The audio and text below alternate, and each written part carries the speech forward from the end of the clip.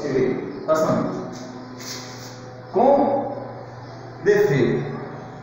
Estive conversando com o moço que atende aqui na prefeitura, não vou citar qual o nome, já tem mais de 250 reclamações sobre isso aqui, vem cá. Ó.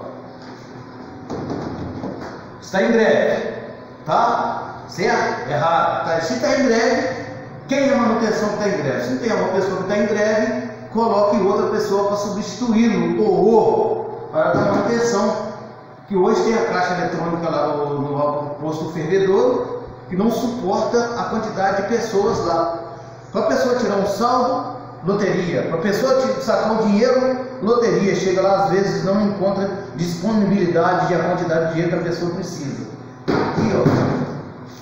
Caixa Econômica Federal. Se tem alguém responsável por esse caixa de fervedor próximo à prefeitura, por gentileza, por favor, muito obrigado. Já tem praticamente quase dois meses que está com defeito. Vamos começar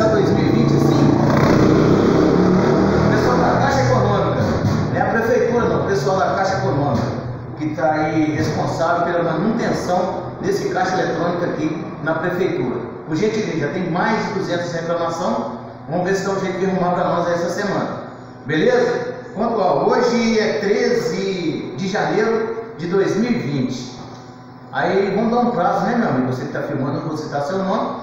Até lá para segunda-feira. Se não filmar, nós vamos começar a meter a lei. Aí nós vamos começar a arrecadar a assinatura das pessoas para abrir um sindicância contra esse caso eletrônico de fervedor. Valeu!